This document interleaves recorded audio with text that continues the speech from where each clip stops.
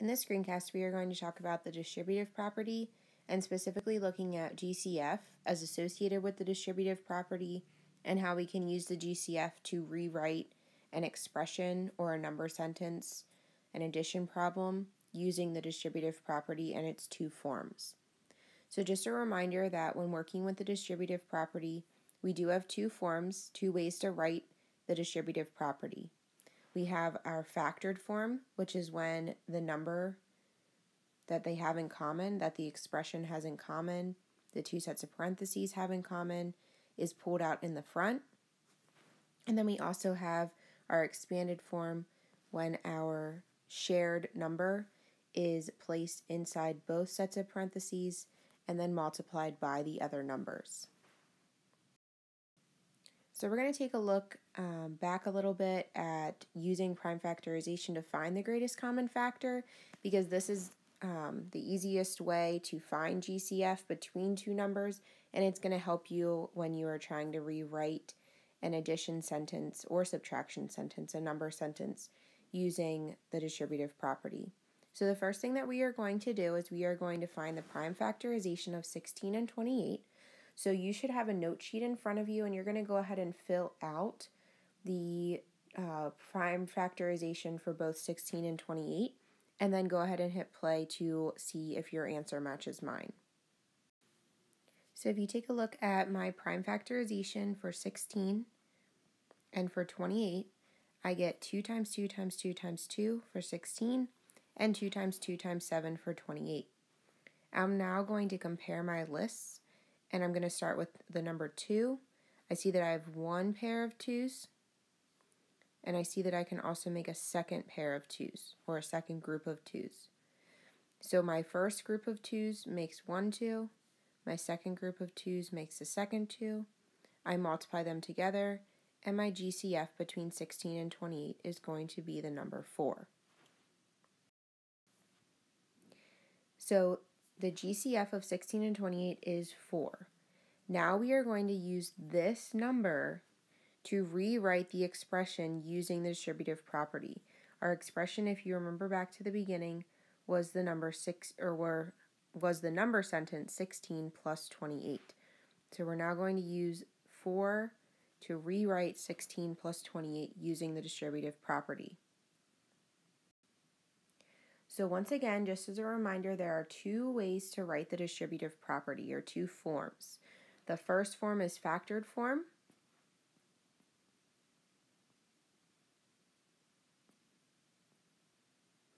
And the second form is expanded form. And we have talked about expanded form before, both with the distributive property as well as with exponents.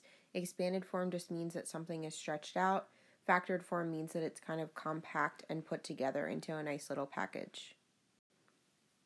So if we take a look at the number 16 plus 28, we're now down at the part where we are going to use the GCF, which was 4.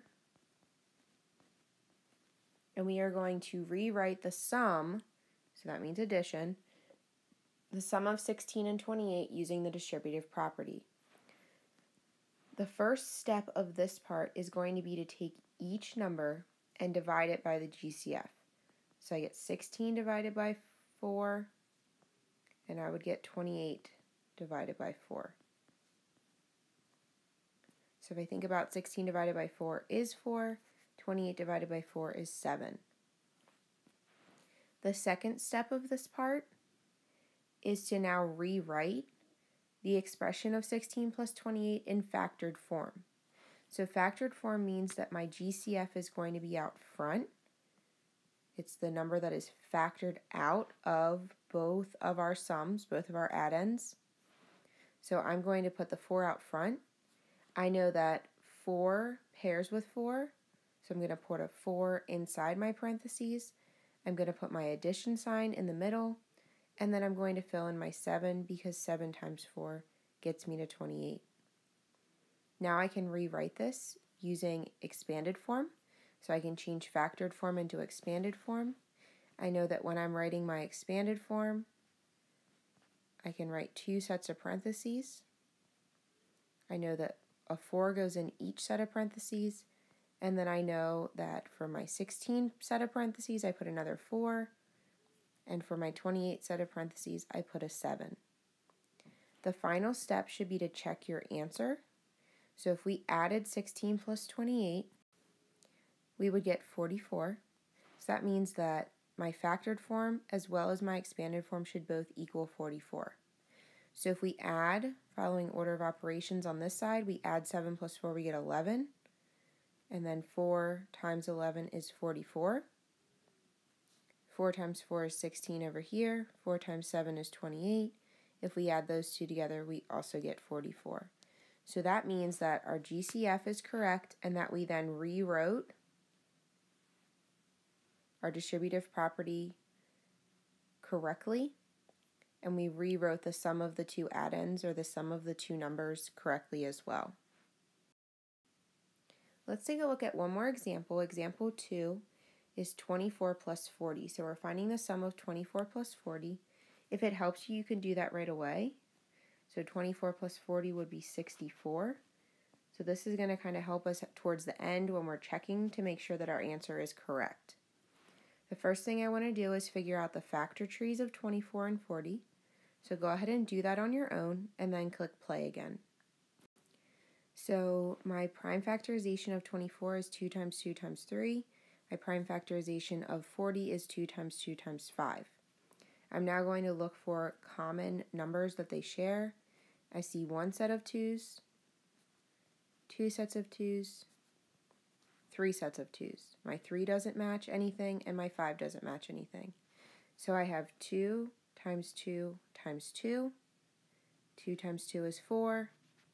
4 times 2 is 8. So the GCF between 24 and 40 is 8.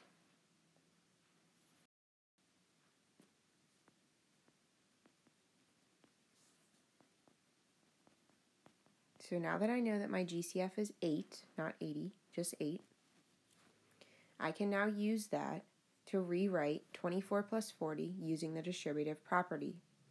Remember that I need to divide each number by the GCF. 24 divided by 8 is 3. 40 divided by 8 is 5.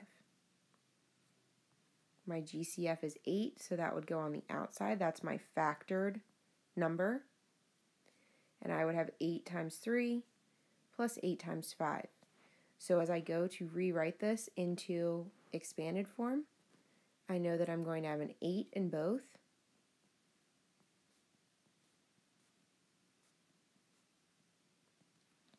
And now I just think 8 times what gets me back to 24? That would be the number 3. And 8 times what gets me back to the number 40? That would be the number 5. So here is my factored form. 8 times parenthesis 3 plus 5. Here is my expanded form. 8 times 3 plus 8 times 5. And all three of these number sentences are equal to 64. You can check 5 plus 3 is 8. 8 times 8 is 64. And then 8 times 3 gets us back to 24. 8 times 5 gets us back to 40. 40 plus 24 is 64. So just as a quick review, the first step is to find the prime factorization of each number. Second step is to identify the GCF between the two numbers or more numbers. Step three is to divide each number by the GCF.